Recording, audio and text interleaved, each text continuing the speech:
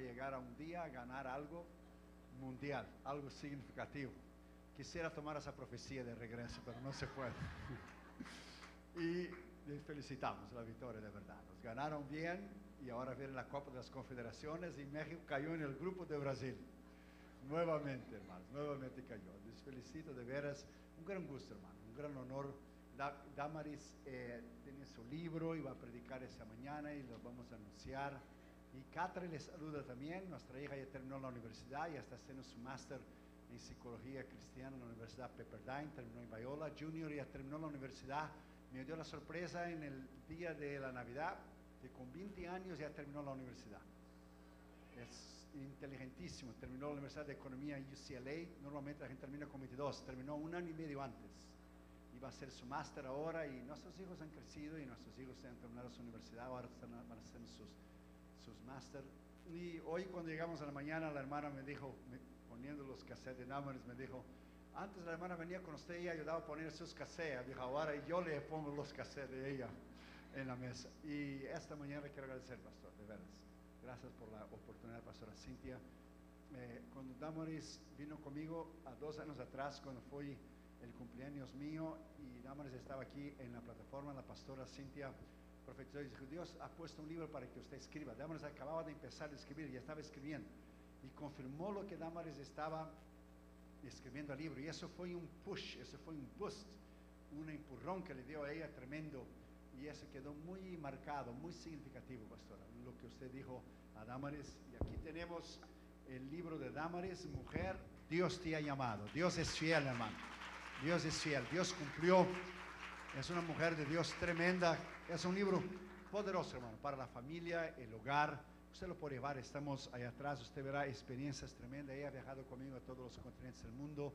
Eh, le debo a ella la educación de Catherine Jr. porque he estado siempre viajando cuando estoy en la casa, entonces eh, he ayudado en la educación de Catherine Junior, pero como he viajado todo el tiempo, Damaris educó a nuestros hijos de una manera extraordinaria. No viniera esta mañana porque Catherine Junior están dando su clase en la escuela dominical, en las iglesias de las Asambleas de Dios. Entonces no vinieron eh, esta mañana. Y es un libro tremendo, hermano. Dios puso en el corazón de Damaris que escribiera este libro, y un libro de grandes experiencias y de cómo fundamentar nuestra casa en la palabra de Dios. También está su CDs, ocho mensajes de crecimiento y edificación espiritual también está ahí atrás y dos DVDs que ella lo ha editado buscando la llenura del Espíritu y echando toda vuestra ansiedad sobre él porque él tiene cuidado de vosotros. Usted puede llevar un libro o un DVD por 20 o 3 por 50 y usted gana este CD, siete principios bíblicos para su bendición financiera. Ya Damaris tiene su libro y sus CDs y sus DVDs y ya me está quitando la chamba, hermanos. Despacito ya está quitando la chamba. Estoy muy orgulloso de ella, la verdad. El año que viene hacemos 25 años de casados y quiero casarme de vuelta contigo, amor. Quiero casarme de vuelta contigo. La amo más hoy lo que la quise ayer y la querré más mañana lo que la quiero hoy. Qué palabras, hermano, qué palabras, como decía Cantinflas. Hermanos, un gran gusto de verdad, un gran honor poder estar con ustedes esta mañana. Gracias, pastor, por la amistad. Gracias, pastora, por su palabra que usted dio aquel día que fue algo extraordinario. Y gracias por la iglesia por orar por mí cuando estaba en Nueva York en la tormenta. Y ya, voy a compartir en abril cuando estaremos con ustedes. Y es un gusto dejar el culto a mi esposa, Damaris. ah, eh, ah sí, cierto. Antes voy a pedir al pastor y su esposa, perdón, me había pasado que pasen aquí, voy a pedir al pastor que ore y dedique este libro al Señor. Acaba de salir, que sea una bendición para todo aquel que lo lee. Una hermana el otro día fuimos a una iglesia y dijo, hermano, cuando obtuve el libro, estaba pasando una necesidad muy grande y lo abrí y dio exactamente en un lugar donde yo necesitaba más. Otra hermana dijo que cuando leyó solo el título, Mujer, Dios te ha llamado, empezó a llorar, que Dios la había llamado muchos años atrás con el mismo nombre, Mujer, Dios te ha llamado y no había obedecido el llamado de Dios, fíjese. Y Dios le estaba reviviendo de vuelta el llamado. Pastor, si usted pudiera orar por ese libro y dedicarlo al Señor, por favor.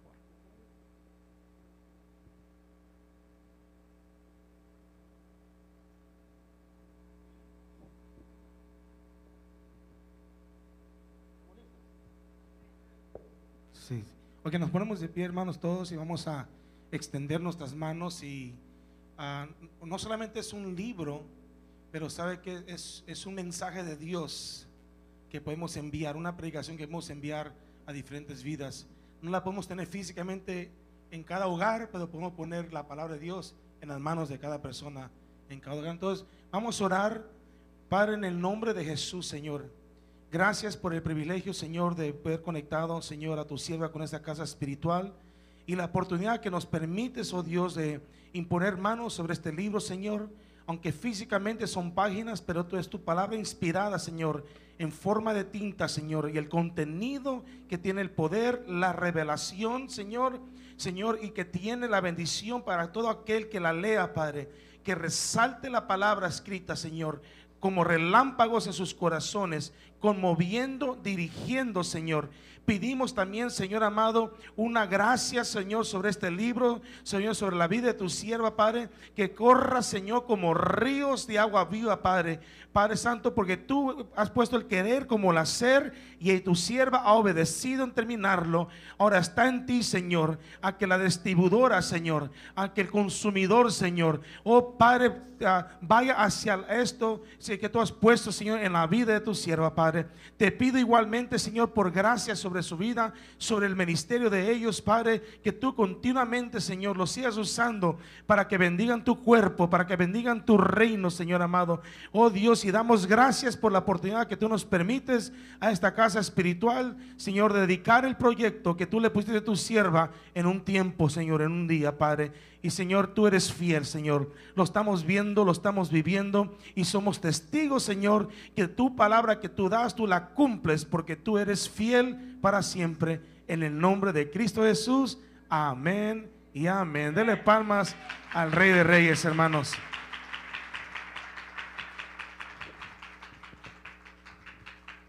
Gracias. También quiero dar gracias públicamente a la iglesia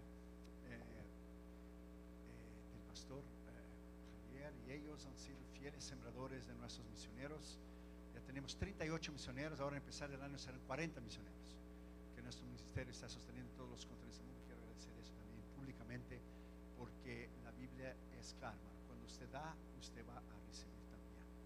Y tenemos los 40 misioneros, hemos puesto misioneros en China, hemos puesto en Turquía, hemos puesto en Myanmar. Joshua, nuestro hijo, fue a China el año pasado, tuvo grandes experiencias allá, misioneras con el Señor. Y quiero agradecer a los pastores y a ustedes también por colaborar con nosotros. Muchas gracias, hermanos. Ya.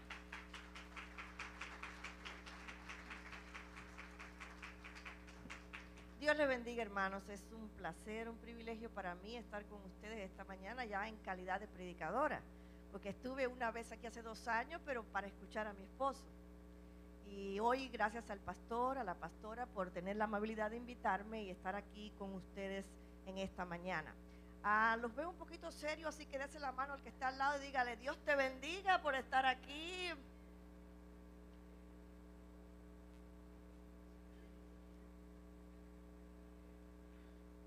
Aleluya.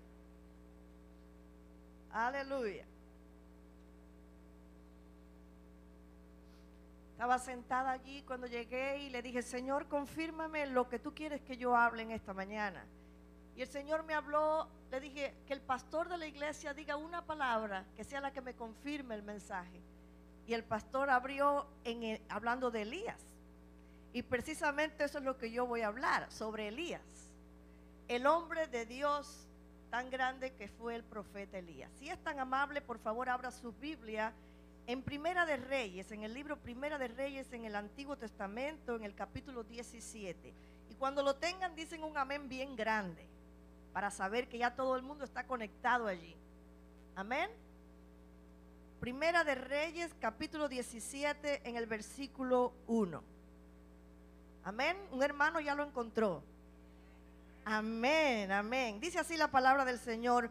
Entonces Elías Tisbita, que era de los moradores de Galaad, dijo a Acab, vive Jehová Dios de Israel en cuya presencia estoy, que no habrá lluvia ni rocío en estos años, sino por mi palabra.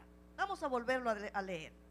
Entonces Elías Tisbita, que era de los moradores de Galaad, dijo a Acab, Vive Jehová Dios de Israel en cuya presencia estoy, que no habrá lluvia ni rocío en estos años, sino por mi palabra. Vamos a orar. Padre, en el nombre de Jesús, en esta mañana presentamos tu palabra, Señor, delante de ti. Te pedimos que tu Espíritu Santo sea el que la, llene y la lleve a nuestros corazones según la necesidad. Atamos todo poder contrario de las tinieblas que quiera venir a perturbar las mentes aquí. Queda atado ahora mismo, imposibilitado de actuar. Y declaramos que solamente el poder de Dios se mueve en este lugar para la gloria tuya, Señor. Amén. Pueden sentarse, hermanos.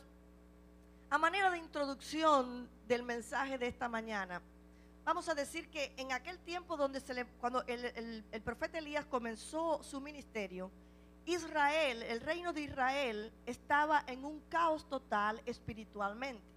Desde que comenzaron a reinar los reyes, cuando el reino se dividió, después del hijo, cuando el hijo de Salomón empezó a reinar, el reino quedó dividido y quedó el reino de Israel y el reino de Judá.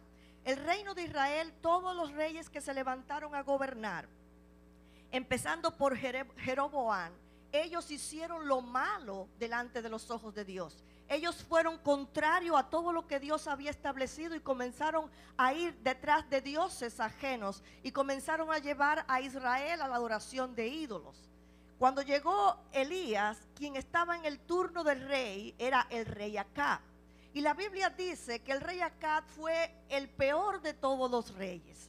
Acab se casó con una mujer llamada Jezabel. Ella era sacerdotisa de Baal, hija del rey de Sidón y sacerdote de Baal también. Por lo tanto, ella era princesa y sacerdotisa de Baal. Acab tomó la adoración a Baal como algo, como su Dios. Él fue más allá que todos los otros dioses. Él no fue solamente de, eh, como otros dioses tomaban algo de, esta adoración o algo de aquella adoración, sino que él tomó a Baal como su Dios. Él llevó a Israel a adorar a Baal.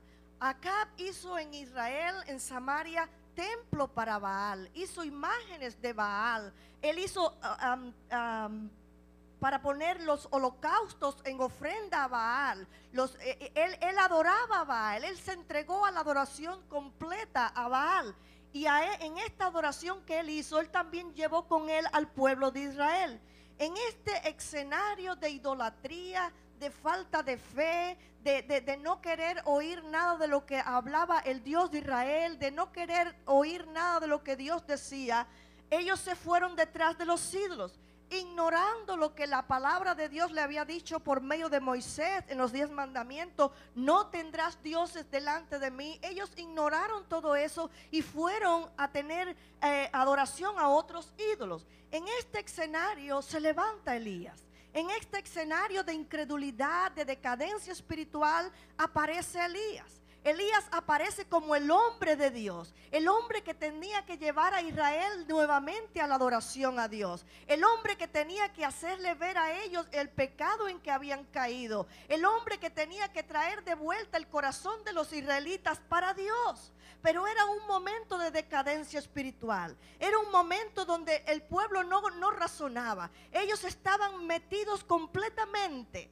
a la adoración a este Dios aun cuando la adoración de Baal incluía mutilarse ellos mismos, incluía sacrificar niños a, ellos, incluía la prostitución, Aún así el pueblo de Israel no, no, no tomó eso eh, eh, como una forma de, no querer adorar, sino que se volcaron todos a adorar a Baal.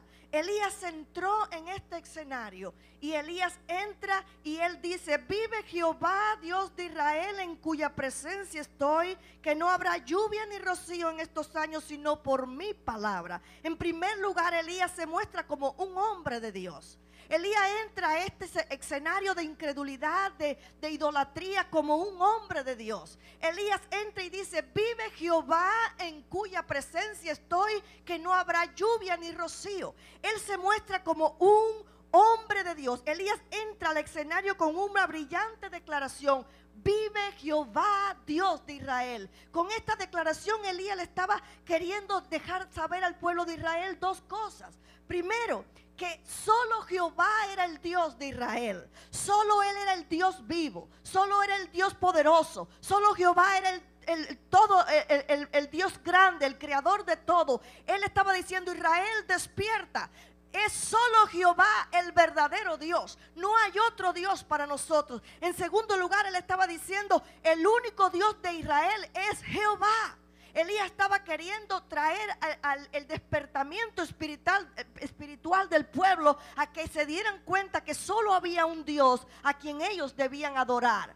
Quizás el Espíritu de Dios que le reveló a Moisés el nombre de Jehová para revelárselo al pueblo de Israel, se lo reveló a Elías en ese momento porque fue cuando Dios habló a Moisés para revelar su nombre al pueblo de Israel. Y si usted va conmigo a Éxodo en el capítulo 3, el versículo 15, cuando Dios se muestra al pueblo de Israel y le hace conocer su nombre por medio de Moisés, Él le dice, además dijo Dios a Moisés, así dirás a los hijos de Israel, Jehová el Dios de vuestros padres, el Dios de Abraham, el Dios de Isaac y Dios de Jacob, me ha enviado a vosotros. Este es mi nombre para siempre. Con él se recordará por me recordarán por todos los siglos. Quizás el mismo espíritu que actuó en Moisés habló a Elías para que él revelara su nombre, su nombre al pueblo, para que ellos despertaran de aquel sueño, para que ellos despertaran de aquella idolatría. Y ellos y Elías le estaba diciendo, despierten, nosotros no pertenecemos a otro Dios,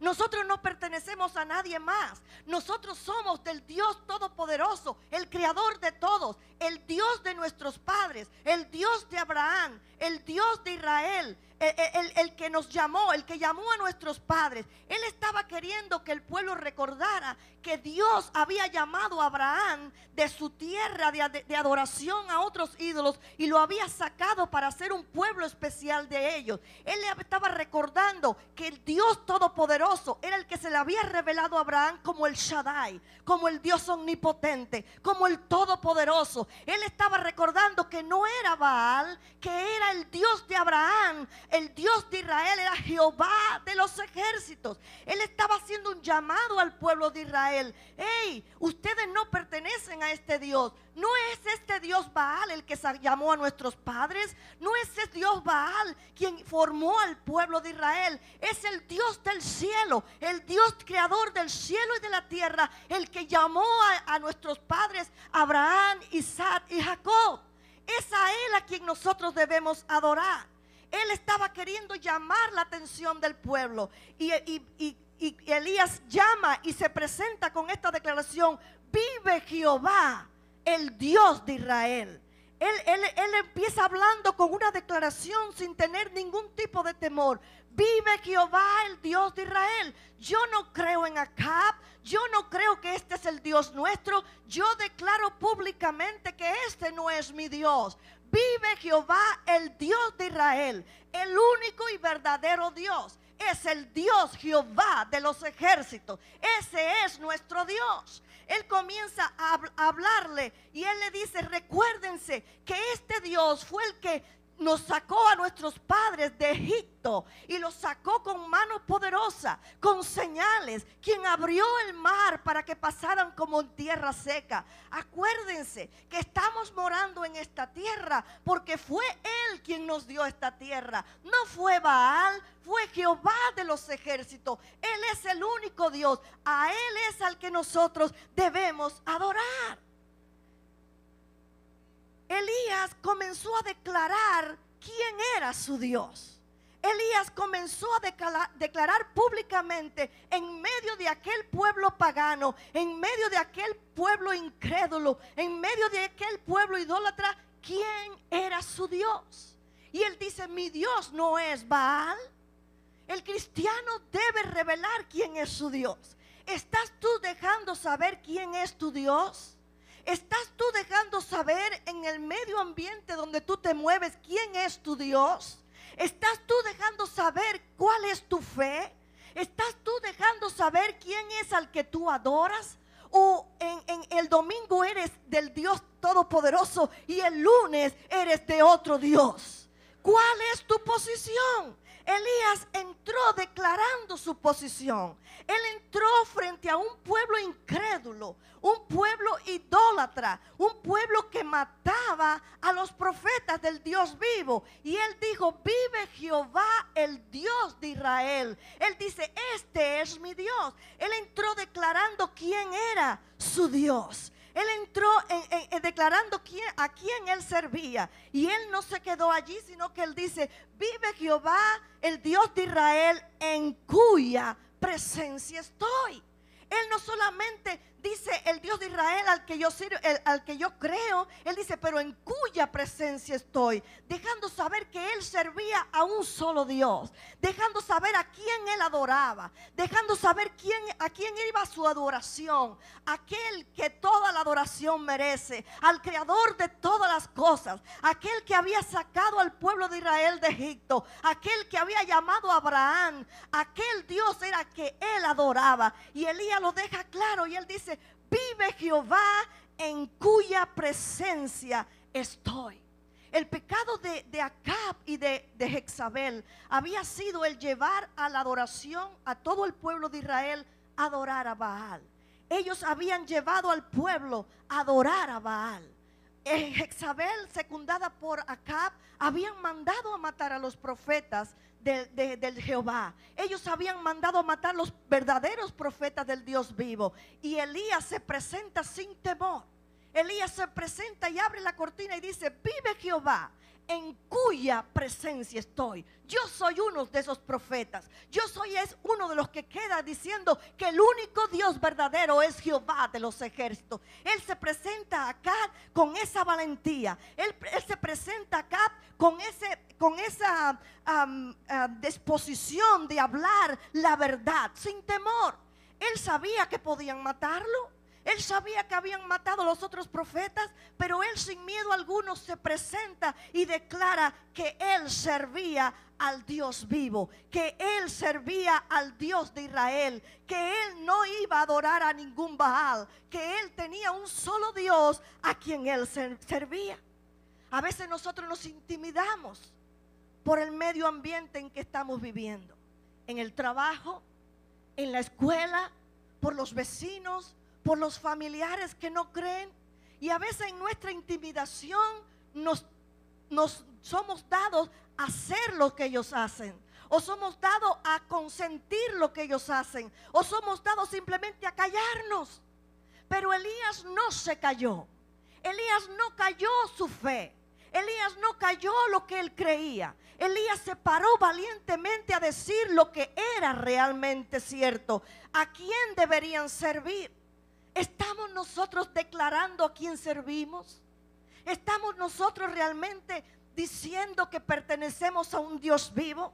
¿Estamos nosotros verdaderamente parados como Elías se paró? ¿Será que en este año nuevo podemos ser un Elías? ¿Será que podemos vivir una vida como este varón de Dios? Aleluya. Pero Elías no solamente se quedó allí publicando quién era a quien él servía, sino que en segundo lugar Elías se revela como un hombre de fe. Él se revela como un hombre de fe.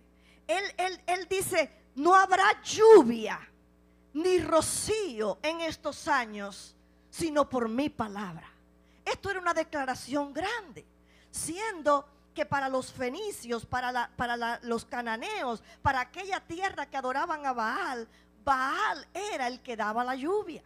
Baal era el, al Dios que le atribuían la fertilidad. A Baal le atribuían el, el que venía lluvia y rocío. Sin embargo, Elías se para y dice, vive Jehová, el Dios de Israel, en cuya presencia estoy, que no habrá lluvia ni rocío, sino por mi palabra. Él está hablando, él entra revelándose como un hombre de fe. No habrá lluvia, no habrá rocío, sino por mi palabra. Sino por mi palabra. Elías comienza su ministerio con una tremenda declaración. No habrá lluvia ni rocío, sino por mi palabra. Una fe, una verdadera fe anclada en, Dios. Él conocía esa relación con Dios. Él tenía una, íntima relación con Dios. Él sabía que lo que Dios le había dicho iba a ser. Él sabía que nada lo iba a parar de, realizar lo que Dios le había dicho. Él entró al escenario con una declaración de firmeza, una declaración de conocimiento de quién era Jehová, una declaración de que había comunión entre él y Dios, una, una declaración que había una intimidad, que él estaba seguro que Dios iba a cumplir su palabra. Y él dice, no habrá lluvia ni rocío.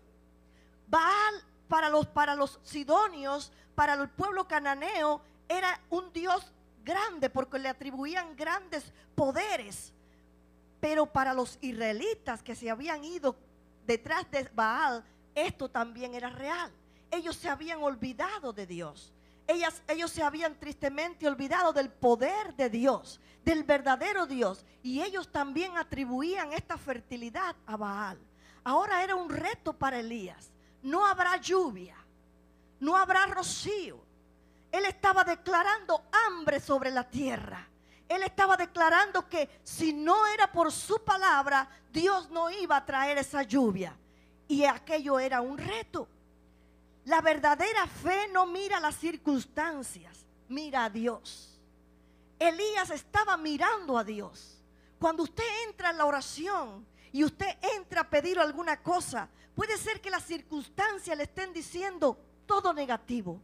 Puede ser que usted esté orando por algo, pero usted no ve el resultado. Puede ser que usted esté orando y usted esté orando y usted no ve que nada cambia. Y usted comienza a desanimarse y comienza a sentirse como que triste porque Dios no le responde, porque Dios no le ha escuchado. Pero Elías no tomó esto ah, de mirar las circunstancias. Él no miró lo que el pueblo decía. Él no miró lo que ellos creían. Él miró a Dios y él habló según lo que Dios le había dicho. Y él dijo, no habrá lluvia ni rocío, sino por mi palabra. Él tomó la autoridad de un creyente. Jesús en Marcos 11 en los versículos 22 y 23 declara esta palabra. Jesús dice, tened fe en Dios, porque os digo que cualquiera que dijere a este monte, quítate y échate en el mar, y no dudar en su corazón, sino creyere que será hecho lo que dice, lo que diga, sucederá.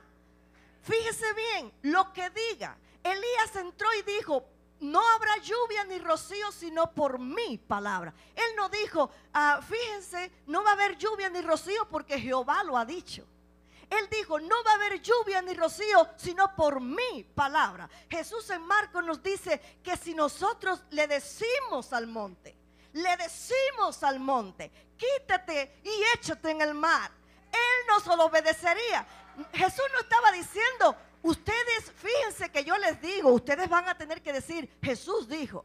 Él dice, si tú dices, si tú dices, dígale al que está a tu lado, si tú dices, si tú dices, lo que dices, recibes.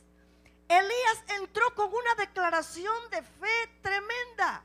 Y él les dice, por mi palabra, él tomó la autoridad del creyente. Él tenía una intimidad con Dios y él conocía que el poder de Dios había sido delegado a él para él hablar según el poder de Dios que actuaba en él. El creyente tiene ese mismo poder. El creyente tiene el poder de Dios en nosotros. Jesús dijo, lo que tú dices es lo que vas a recibir. No lo que no no vas a tener que decir porque Jehová lo dice. Si tú le dices al monte, ¿cuál es tu necesidad? ¿Cuál es tu problema? Dile al monte, dile a la necesidad, dile, dile lo que tú háblale, lo que tú hablas, eso es lo que tú recibes. Jesús dijo, si tú le dices al monte que se quite y se eche en el mar y no dudas, sino crees lo que tú dices, será hecho. Elías sabía este concepto. Él sabía que quien lo había llamado, quien lo había mandado a hablarle a Acab, era el Dios todopoderoso. Elías entró a la presencia de Acab sin ser llamado.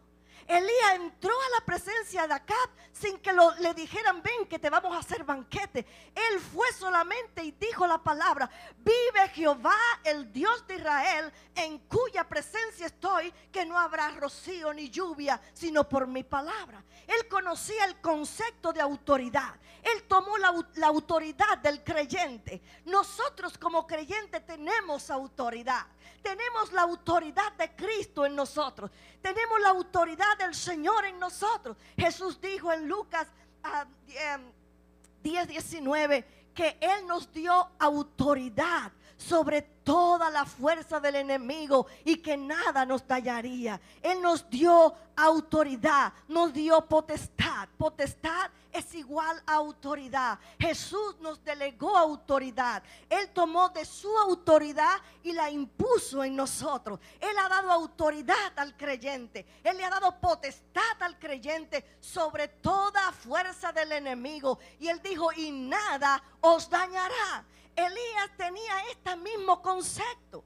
Él tenía tanta intimidad con Dios que él conocía que la autoridad y el poder de Dios le había sido delegado a él como profeta y que lo que él decía iba a suceder porque la autoridad de Dios estaba en él. Nosotros tenemos autoridad, pero a veces no la usamos. Jesús nos ha dado la autoridad. Jesús nos ha dado su poder en su nombre. Tenemos la autoridad en su nombre, pero a veces no la usamos.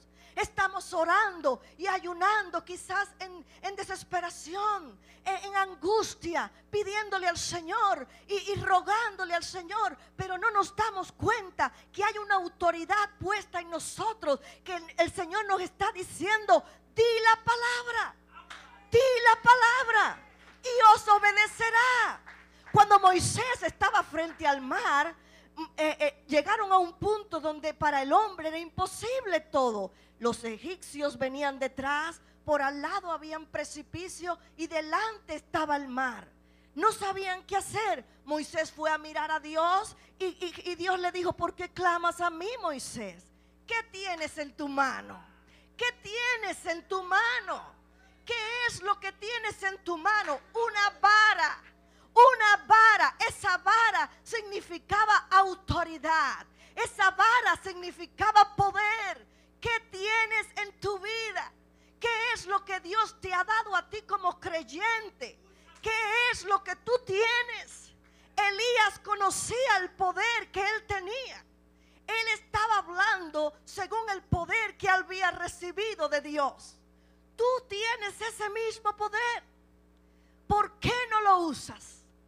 ¿Por qué estás ahí estancado, llorando, triste, preocupado, si en ti hay poder?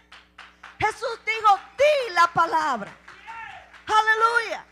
Cuando Jesús estaba con aquel centurión, aquel hombre conocía lo que era la autoridad. Él dijo, yo no soy digno de que tú entres en mi casa, pero di la palabra y mi siervo sanará. Jesús en Marco nos está diciendo lo mismo, lo que tú dices al monte. ¿Cuál es el monte que te está angustiando en esta mañana? El monte significa problema. El monte significa situaciones difíciles. ¿Cuál es el monte que te está deteniendo a ti? ¿Cuál es el monte que te está haciendo retroceder en tu vida cristiana? ¿Cuál es el monte que te está haciendo tambalear? ¿Cuál es el monte que te está haciendo entristecer? ¿Cuál es el monte que no te deja estar en la presencia de Dios en adoración? ¿Cuál es ese monte? Jesús te está diciendo, dile al monte lo que tú dices, lo que tú dices, lo que tú dices. Aleluya. Aleluya. Elías tomó la autoridad del creyente y actuó en ella. Pero Elías también tomó la acción. No solamente es, decir la palabra, sino es caminar en la palabra. No solamente es decir, oh, porque yo creo y lo digo, sino es caminar en lo que tú crees. Caminar en lo que tú has creído.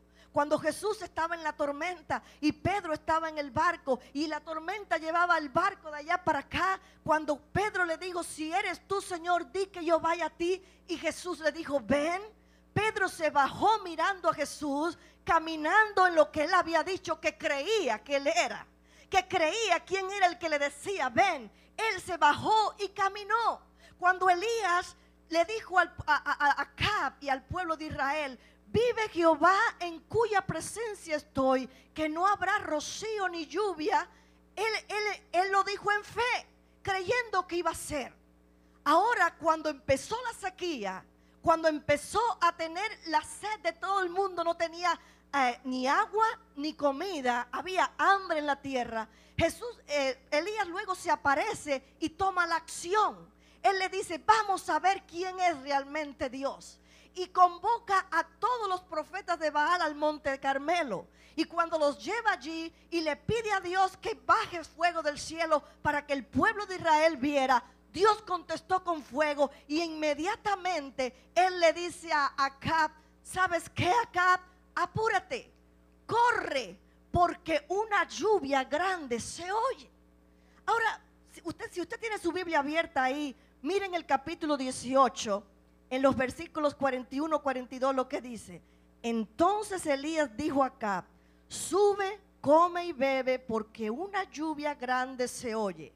Acab subió a comer y a beber, y Elías subió a la cumbre del Carmelo, y postrándose en tierra, puso su rostro entre las rodillas. En tercer lugar, Elías se muestra como un hombre de oración. Fíjese bien, cuando Elías le dijo a Acab que subiera y comiera y bebiera, no había ninguna señal de lluvia. Elías le dice, come y bebe y huye porque viene agua, pero no había señal de agua. No había señal ninguna de que había una nube negra que dijera, va a llover. Elías estaba hablando con fe, pero Elías se fue a orar. Elías se fue a orar. Elías no solamente se quedó diciendo, sube, él se fue a orar. Quiere decir, hermanos, que quizás usted está orando por algo y usted no ve nada. Pero eso no es señal de que usted deje de orar o que usted desista o que usted diga Dios no lo quiere o Dios no me lo quiere dar. Eso quiere decir que hay que seguir orando con perseverancia. Elías se fue a orar, subió al monte y se puso a orar. Elías habló que venía la lluvia, pero no había señal de lluvia. Quizás usted tiene palabra rema de Dios para algo que usted está pidiendo. Quizás usted tiene una palabra profética de Dios para algo de su vida que usted está pidiendo. Quizás usted tiene una visión, algo que Dios le ha dado, pero no hay manifestación alguna que se va a cumplir. Eso no quiere decir que usted tiene que dejar de orar. Es cuando más tienes que orar. Aun cuando Dios te ha dado la palabra, usted tiene que doblar de las rodillas y perseverar en la oración hasta que se manifieste en el mundo físico. Ve aquí, versículo 43 al 45. Y dijo a su criado, sube ahora y mira hacia el mar. Y él subió y miró y dijo, no hay nada. Y él lo, lo volvió a decir, vuelve siete veces. Y a la séptima vez dijo, yo veo una pequeña nube como la palma de la mano de un hombre que sube del mar. Y él dijo, ve y dile a Acab, unce tu carro y desciende para que la lluvia no te ataje. Y aconteció estando en esto que los cielos se oscurecieron con nubes y viento y hubo una gran lluvia. Fíjese bien otra vez, él dijo, dile a Acab. E- Él se permaneció en la rodilla, mandó al siervo una vez, no hay nada. Mandó al siervo la segunda vez, no hay nada. ¿Cuántas veces usted en las rodillas ha estado mirando a ver si cambia la circunstancia de su problema? ¿Cuántas veces usted en la oración eh, se levanta con una fe fervorosa, pero la situación empeoró? ¿Cuántas veces? Pero Elías no se debilitó en su fe al, que, al oír que el criado le decía, el sol brilla más que cualquier otro día. No hay nubes en el cielo. Todo dice que no va a llover. Él se creyó, él se quedó en oración creyendo, vuelve, vuelve. Una, dos, tres, cuatro, cinco, seis y a la séptima vez. ¿Cuántas veces se zambulló eh, eh, Namán en el río Jordán? Siete veces. No fue la primera, no fue la segunda, sino a la séptima vez. Quiere decir que si a la primera Dios no te ha contestado es porque no te va a contestar.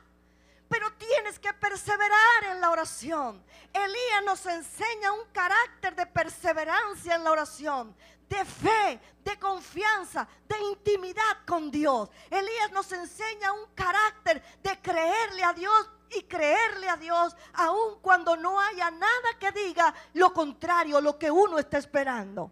Creerle a Dios. Elías mandó al criado una y otra y otra vez para ver, si había cambiado algo. Y Elías no es diferente a nosotros. El, Santiago dice en su epístola que Elías era semejante a nosotros, con las mismas pasiones, con los mismos problemas que nosotros somos. Él era humano. Pero él dijo, no va a llover y no llovió. Y luego dijo, va a llover y llovió. Elías era un hombre de fe aun cuando tenía, era semejante a nosotros, pero había una diferencia. Él creía en el Dios Todopoderoso. Él tenía una confianza en el Dios Todopoderoso. Él tenía una relación íntima con el Dios Todopoderoso. Él lo conocía y él sabía que ese Dios no iba a fallar. Elías se fue a orar. Y Elías, quizás usted diga así, hermano, pero Elías tenía palabra de Dios de que no iba a llover. Elías tenía la palabra, Dios le dijo, él lo oyó. Pero hermanos, nosotros también tenemos la palabra. Jesús nos dijo en Mateo 7 que pedid y recibiréis, buscad y hallaréis, llamad y se os abrirá. Y esta promesa es la llave de la oración, porque el que dice, él dice, todo el que pide recibe. Y el que busca, halla. Y el que llama, se le abrirá. Cuando nosotros leemos esas promesas en la Biblia, es como si Dios mismo nos estuviera hablando cara a cara. Como si Él nos estuviera diciendo lo mismo que Él le dijo a Elías, no va a llover o va a llover. Cuando Dios nos dice, pide, porque el que pide recibe, es porque el que te está diciendo, yo te voy a contestar yo te voy a proveer, yo te voy a dar, yo voy a cambiar ese problema, yo voy a cambiar, pero solo tienes que pedir, solo tienes que actuar en esa palabra, solo tienes que creerla. Cuando nosotros creemos la palabra, cuando nosotros actuamos en ella, estamos haciendo lo mismo que hizo Elías. Estamos obrando de la misma manera, porque es el mismo Dios en el Antiguo Testamento Él le hablaba audible, pero ahora Él nos habla a través de la palabra. Ahora Él nos habla a través de la palabra. Jesús dijo, las palabras que yo hablo son espíritu y son vida. Entonces si son espíritu y son vida, no son mentiras, son verdaderas, es real, es cierto, ciertamente lo vamos a ver, ciertamente lo vamos a tener. Aleluya, aleluya. Gloria a Dios. Lo que decimos, recibimos.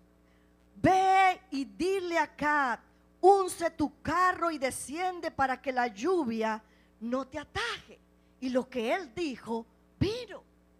Y vino un tremendo aguacero y comenzó a llover por la palabra de él. Pero ahora en cuarto lugar vemos a este hombre de Dios esconderse en una cueva. Este hombre de Dios que se presentó delante de Acab sin ser llamado, que se presentó con valor, que se presentó y dijo, vive Jehová, el Dios de Israel, en cuya presencia estoy, que no habrá lluvia ni rocío, sino por mi palabra. Ahora este hombre de Dios se esconde en una cueva. Yo no creo personalmente que a Elías tenía miedo de Jezabel. Porque Elías, si nosotros nos detenemos a pensar, Elías se presentó delante de ellos con valor. Elías sabía que ellos habían mandado a matar a los, profetas. Él sabía que él estaba corriendo peligro de muerte. Pero él se presentó con valor delante de Acab. para declarar que su fe era en el Dios vivo, en el Dios todopoderoso. Y él habló en fe la palabra y él actuó en la palabra. Pero ahora nosotros vemos al profeta esconderse en una cueva. Los resultados de una gran victoria pueden llegar a ser una nueva época para la derrota. Lo que pasaba con Elías era que estaba desilusionado. Elías estaba entristecido porque la tarea de Elías era llevar al pueblo de Israel a volver a la adoración a Dios. Pero cuando Elías vio que él habló la palabra, que él hizo llover, que hubo sequía, que mató a los 450 profetas de Baal, ahora, ahora la cosa se puso peor.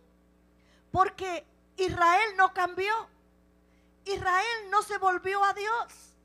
Israel seguía adorando a Baal y aún ahora Jezabel quería matarlo. Lea conmigo allí en el capítulo 19 los versículos del 1 al 4. Acab dijo a Jezabel la nueva de todo lo que Elías había hecho y de cómo había matado a espada a todos los profetas. Entonces envió Jezabel a Elías un mensajero diciendo, así me hagan los dioses y aún me añadan, si mañana a estas horas yo no he puesto tu persona como la de uno de ellos. Viendo pues el peligro, se levantó y se fue para salvar su vida. Y vino a Berseba que está en Judá, y dejó allí a su criado. Y él se fue por el desierto un día de camino, y vino y se sentó debajo de un enebro, y deseando morirse dijo, basta ya, oh Jehová, quítame la vida, pues no soy yo mejor que mis padres. Cuando él miró lo que estaba sucediendo, Elías tuvo un desánimo. Elías se sintió desanimado, frustrado, alicaído, como decimos, estaba triste, porque él no vio nada de lo que él había predicado, nada de lo que él había hecho que era fructífero. Elías vio que su ministerio empezó y floreció, pero ahí se estancó porque no vio resultado. Elías no veía que el pueblo había vuelto a Dios. Elías veía todo lo contrario. ¿Cuántas veces nosotros en oración no nos frustramos. ¿Cuántas veces nosotros no vemos el resultado que queremos ver y nos sentimos entristecidos? ¿Cuántas veces ya no queremos ni orar, ni leer la Biblia, ni venir a la iglesia? Y comenzamos a sentirnos poquito a poco un enfriamiento en nuestra vida espiritual, porque no hemos visto lo que nosotros queríamos ver porque no hemos visto el resultado de nuestra oración contestada, porque no hemos visto nada de lo que nosotros habíamos pedido. Y el enemigo comienza a hablar en nuestra mente y nosotros comenzamos a estar de acuerdo con esos pensamientos negativos y comenzamos a ir para atrás, a ir para atrás, a ir para atrás. Elías se sentía así. Elías se sentía frustrado, de tal manera que quería morirse. Mire lo que dice el versículo 19 en el, del 5 al 9. Y echándose debajo del enebro se quedó dormido. Y he aquí luego un ángel le tocó y le dijo, levántate, come. Entonces él miró y he aquí a su cabecera una torta cocida sobre las ascuas y una vasija de agua. Y comió y bebió y volvió a dormirse. Estaba deprimido el hombre. Lo tocó y volviendo el ángel de Jehová la segunda vez lo tocó diciendo, levántate y come, porque largo camino te resta. Se levantó pues y comió y bebió y fortalecido con aquella comida, caminó cuarenta días y cuarenta noches hasta Ored, el monte de Dios. Y allí se metió en una cueva donde pasó la noche. El ángel viene y le dice, Elías, esto no es para que tú estés así, levántate, come, porque todavía tu misión no se ha terminado. Todavía tu ministerio, ministerio aquí no se acabó. Tú quizás no has visto lo que tú estabas pidiendo, pero eso no quiere decir que Dios no te ha contestado. Elías, mira, tú no estás luchando contra sangre y carne. Tu lucha son con principados que están actuando en estas regiones. Tu lucha es con principados grandes. Todavía tu misión no termina.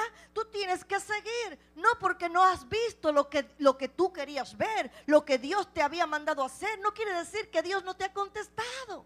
Cuando Daniel estaba orando, porque quería saber lo, lo que decía aquella visión, Daniel entendió en el capítulo 10 de Daniel, usted puede ver lo que él dice, él entendió que la visión era buena, pero se dio cuenta que el conflicto era grande.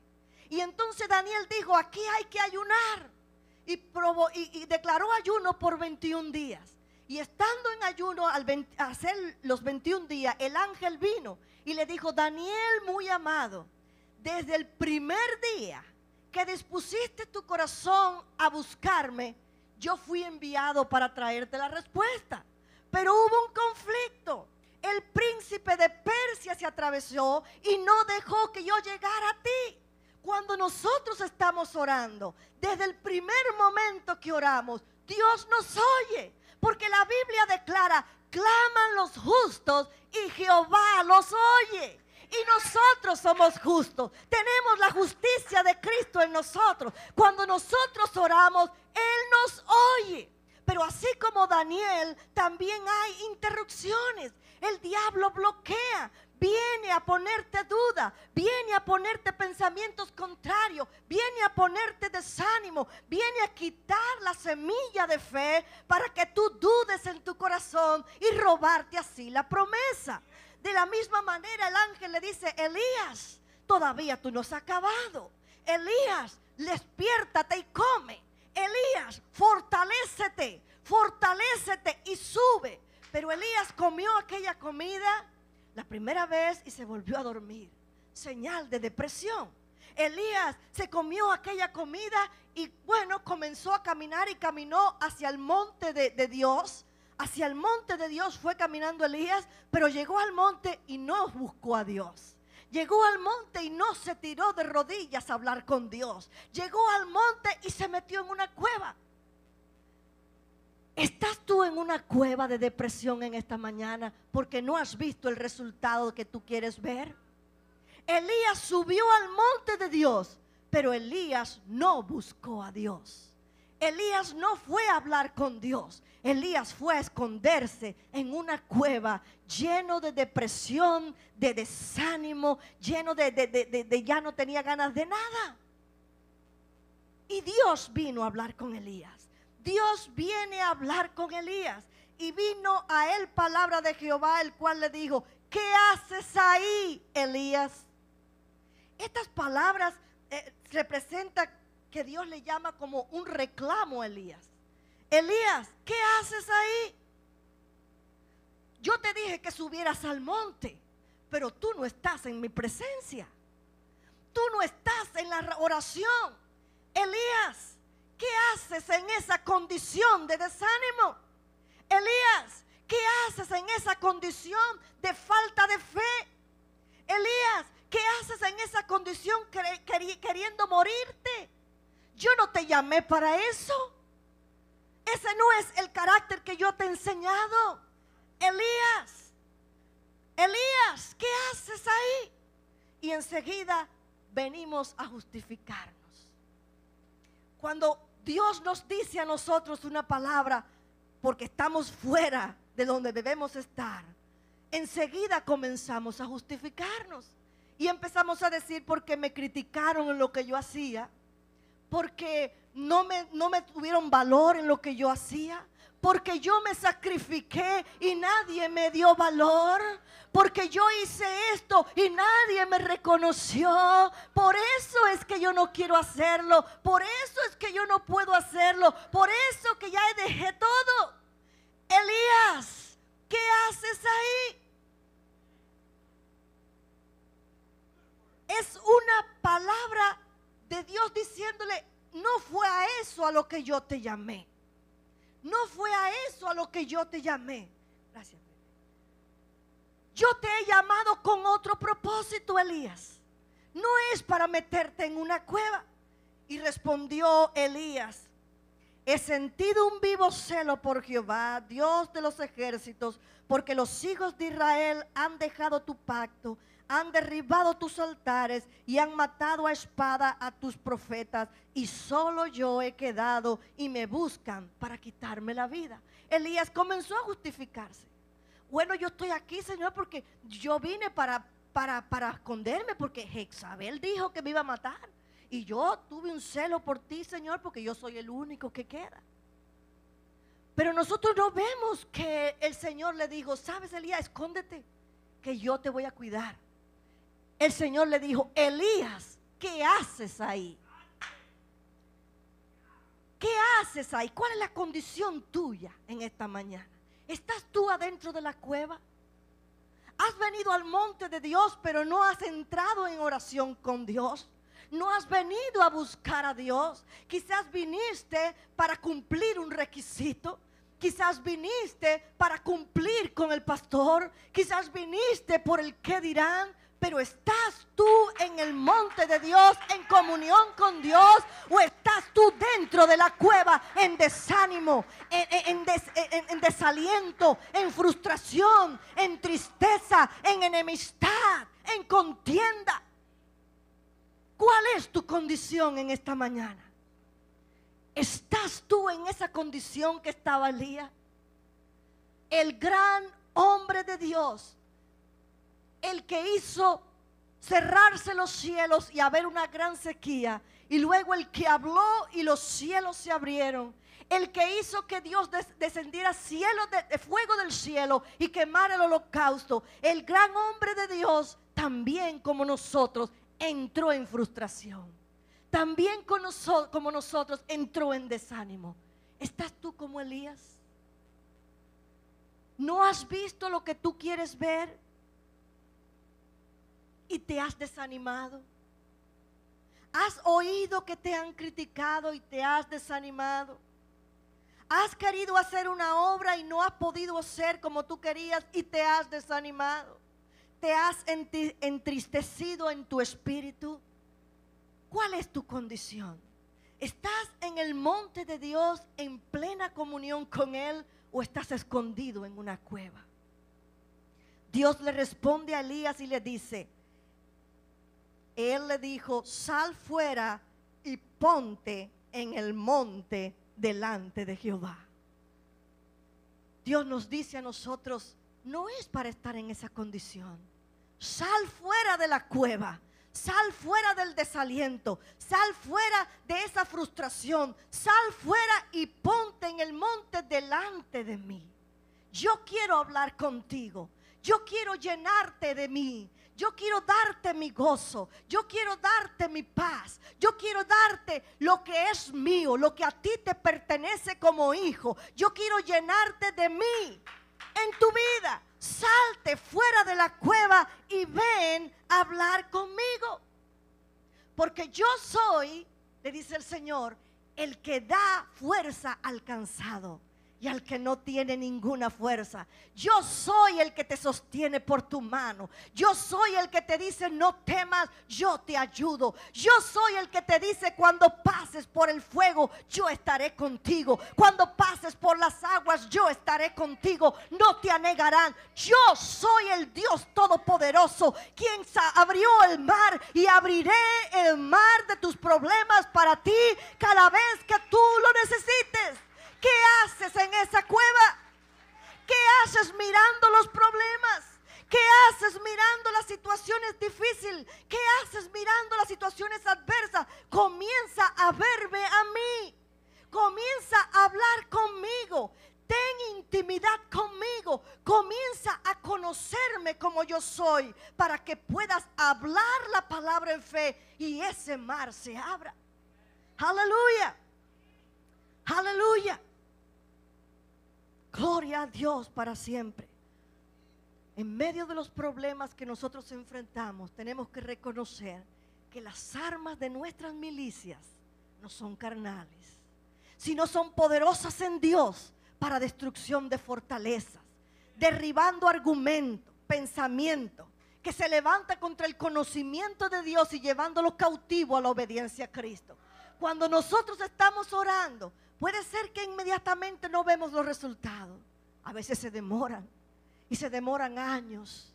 Pero en medio de esa situación nosotros debemos seguir doblando la rodilla y decirle, Señor, yo sé en quién he creído. Yo sé que es poderoso para guardar mi depósito hasta aquel día. Yo sé, Señor, que tú eres Jehová, mi pastor, y que nada me faltará. Yo sé, Señor, que tú estás conmigo. Yo no veo nada, pero yo sé, Señor, que por medio de esta senda yo voy a pasar y voy a pasar sin quemarme. Voy a pasar sin mojarme en medio de esa tempestad. Voy a pasar caminando firme porque sé que tú estás conmigo. Tu presencia está conmigo. Tu presencia está en medio mío. Tú estás en mí, Señor. Y voy caminando, voy caminando sin temor porque yo sé que tú estás conmigo.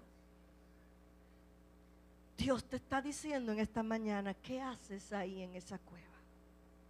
¿No te he dado mi palabra? ¿No te he mostrado mi poder en muchas ocasiones? ¿Qué haces en esa situación? ¿Qué haces en esa cueva? Frustración, desánimo, depresión, tristeza, enemistades, pleitos, problemas económicos, problemas familiares. ¿Qué haces en esa cueva? Ven al monte de Dios y habla conmigo. Habla conmigo. Dios, en esta mañana yo no sé cuál es tu condición. Yo no sé tu vida. Yo no sé cuál es tu petición. Yo no sé qué es lo que tú estás buscando de Dios. Pero en esta mañana, si tú eres sincero contigo mismo, tú tomas esa palabra, ¿qué haces aquí, Elías? Y tómala para ti. Voy a pedir que te pongas en pie y cierres tus ojos mientras los músicos suben aquí a la plataforma y vamos a alabar al Señor. Yo quiero que tú comiences a decir, ¿estoy yo en la cueva o estoy en el monte de Dios? ¿Estoy yo mirando a Dios en comunión con Él para comenzar este año 2013? ¿Será que mi vida está llena del poder de Dios para que como Elías yo pueda impactar al mundo, a la comunidad? ¿Será que yo puedo salir en fe declarando la palabra a mis compañeros de trabajo, a, mi familia y poder con mi ejemplo, poder llamarlos a ellos al arrepentimiento de sus pecados? Jesús dijo que todo árbol bueno da buenos frutos, pero todo árbol malo da frutos malos. Pero si nosotros damos los frutos de Dios en nosotros, si estamos en el monte de Dios, los frutos que vamos a dar son los frutos del Espíritu. Y esos frutos darán testimonio a los demás de que estamos en el Dios verdadero. Elías dio frutos, frutos de fe, de que estaba en Dios. Y Dios obró en favor de Elías. ¿Cuál es tu posición en esta mañana? ¿Cuál es tu posición? ¿Qué es lo que se está pasando. ¿Estás tú en la cueva o estás tú en el monte de Dios? ¿Estás tú mirando tu necesidad y tu problema o te estás enfocando solamente en Él, creyendo que Él resuelve tu situación? ¿Cuál es tu situación en esta mañana? Cierra tus ojos y sé tú mismo con Dios. Tú mismo con Dios. Él te conoce y Él conoce tu corazón. Ábrele y dile, Señor, Quizás yo estoy en la cueva. He estado bajo fuerte presión y no me he dado cuenta que estoy metido en la cueva. Pero Señor, ayúdame a salir de la cueva. Y si tú quieres y te das cuenta que has estado en esa cueva, salte de tu lugar y ven aquí al frente, porque vamos a orar. Y la unción de Dios va a fluir y vas a ser lleno del poder de Dios para enfrentar un año 2013 en bendición, para enfrentar un año 2013 en la unción de Dios, para enfrentar un año 2013 sin angustia, sin temor, sin frustración, delante de Dios. Sal al monte a hablar con Él. Háblale a Dios allí donde tú estás. Comienza a declarar tus temores. Comienza a declarar tus problemas. Comienza a declarar lo que te aflige. Comienza a declararlo. Voy a pedir que Josué, los pastores pasen para ministrar. Comienza a declararlo delante de Él. Háblale a Él. Él entiende. Él solamente te dice qué haces allí en esa cueva. ¿No ves que yo quiero ayudarte? ¿No ves que yo quiero fortalecerte? ¿No ves que yo quiero protegerte? ¿No ves que te estoy enseñando madurez? ¿No ves que te estoy enseñando para que tu fe no falte? Sal de esa cueva y entra aquí en el monte santo de mi presencia. Entra, entra, entra al monte de Dios.